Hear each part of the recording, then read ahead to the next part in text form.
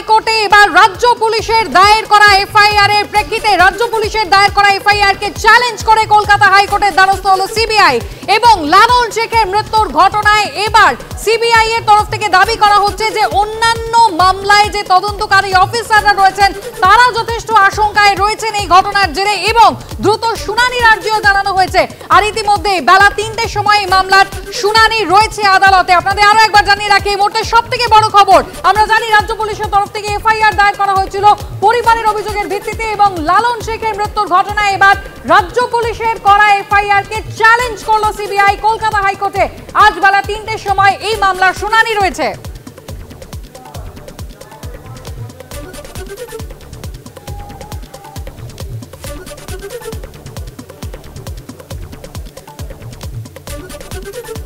সৌভিক মজুমদার, আমাদের প্রতিনিধি রয়েছেন আমাদের সঙ্গে টেলিফোন লাইনে। সৌভিক, এই মুহূর্তে কি খবর পাচ্ছ?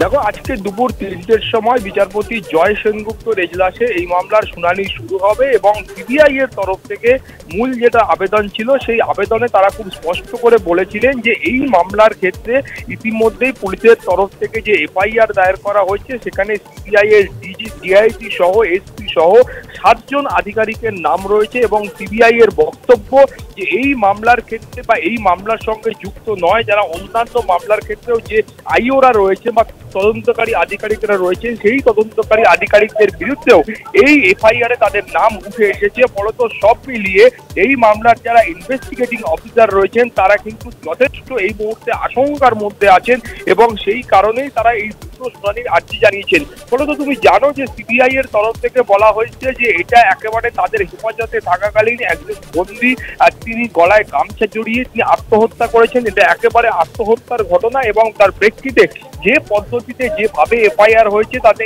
এই মুহূর্তে যারা আধিকারিক রয়েছেন সিবিআই এর তারা কিন্তু আশঙ্কার মধ্যে রয়েছেন এবং সেই কারণেই আজকেই এই মামলার শুনানি বা বিচার প্রক্রিয়া শুরু করা হোক। সেই মর্মে তারা আবেদন জানান।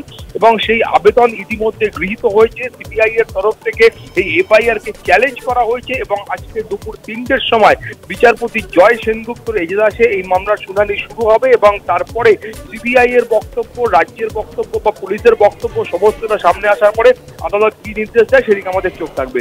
কুসুমিতা ধন্যবাদ সৌভিক। অর্থাৎ এই মুহূর্তে যে বড় খবর আমরা নজর রেখেছি, যে আমরা জানি যে গতকালই সিবিআই এর অ্যাডিশনাল ডিরেক্টর অজয় ভটনাগর তিনি কলকাতায় এসেছেন। তিনি গতকাল রাতে একটি উচ্চ পর্যায়ের বৈঠক করেন। সিবিআই আধিকারিকদের নিয়ে আজ সকালেও বৈঠক করেন এবং তারপরেই সিবিআই এর পরবর্তী পদক্ষেপ সম্পর্কে জানানো হয়, যেখানে কলকাতা হাইকোর্টে এবার রাজ্য পুলিশের করা এফআইআর কে চ্যালেঞ্জ করে মামলার আবেদন জানিয়েছে সিবিআই।